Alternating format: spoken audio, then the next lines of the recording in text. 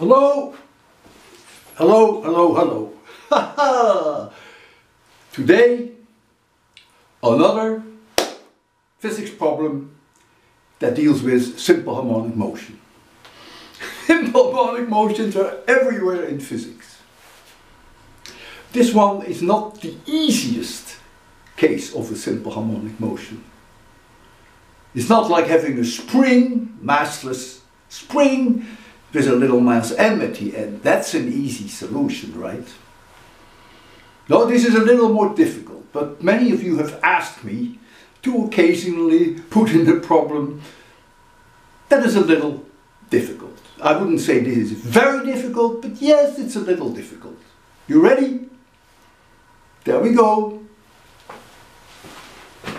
Here is a hollow cylinder with radius capital R. And here is a solid cylinder with mass m and radius r, little r. And the mass density is everywhere the same, so uniformly distributed throughout that cylinder. I take this cylinder into my hand and I put it in this position where it's now. I hold it still and I pull my hands off. This object will start to roll down and come here to a halt and then it will go back here and it will oscillate back and forth.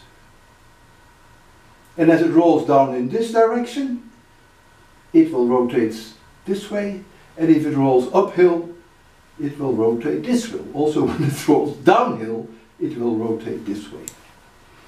Therefore, there must be friction between this small cylinder and the inner surface of the large one. Because only friction can torque the small disk up and can torque it down. However, since it is in pure roll, the friction is large enough, I can guarantee you that, that it is in pure roll. You can think of the surface of it to be a very thin layer of rubber, or you can think of the whole disk being made of rubber. It surely would go into pure roll. So that friction is necessary to torque up and to torque down. But since it's pure roll, there is no slip. And if there is no slip, no energy will be converted to heat. So keep that in mind. You do need friction, otherwise it won't go into pure roll and stay into pure roll, but you lose no energy to heat. Okay.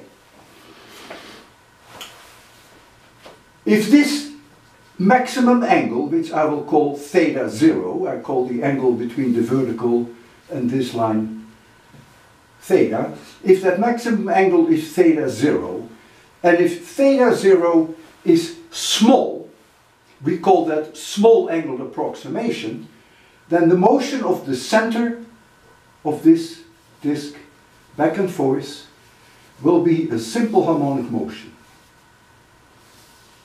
And that simple harmonic motion will have a frequency which in general in simple harmonic motions we call that omega cosine times omega t or sine of cosine, the sine of omega t. So the question now is how small is a small angle? Well, remember when we derived the period of a pendulum length L with a mass at the end, we also assumed small angle approximation. And then we found that in our differential equations we can replace the sine of theta by theta in radians. How accurate is that? Well, let me give you some numerical examples. If theta 0 were 1 degree, the difference between the sine of 1 degree and 1 degree in radians is 0.06%. Quite accurate, right?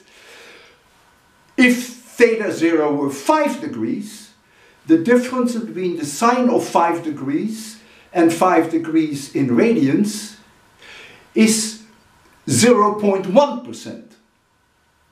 If theta 0 were as large, I already begin to use the word large, as large as 10 degrees, then the difference between the sine of 10 degrees and 10 degrees in radians is still only 0.5%, only half a percent. So, assume small angle approximation. And solve for the angular frequency omega. I will probably post all incorrect solutions and probably none of the correct solutions. As I said before, it's not the easiest problem about a simple harmonic motion because now we have a rolling object that itself rolls along a curved circumference of another hollow cylinder. Alright, have a nice day. Try your best. If you can't solve it, that's perfectly okay. I will post the solutions in general on a Saturday, the day after I post the problem. Take care and still try to be friends with me.